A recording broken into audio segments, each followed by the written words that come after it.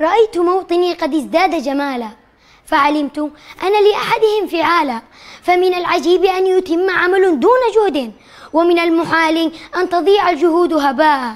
سنظل ننير الأرض بالسلام ولن نيأس من القول.